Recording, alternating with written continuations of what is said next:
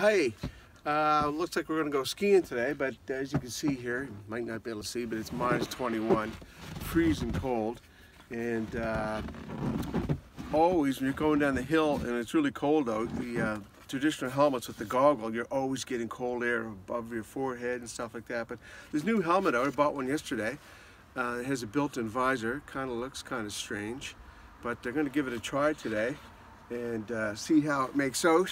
Hopefully it'll make the day skiing in the cold uh, a lot more enjoyable. Kind of looks kind of space age, I guess. Anyway, gonna give it a try today. I'll let you know how it works. The visor is also great when you wear glasses because uh, you don't have to figure putting goggles on them. The visor just goes right over them. It's really nice. Well, if you're looking for an answer, this uh, visor is definitely it.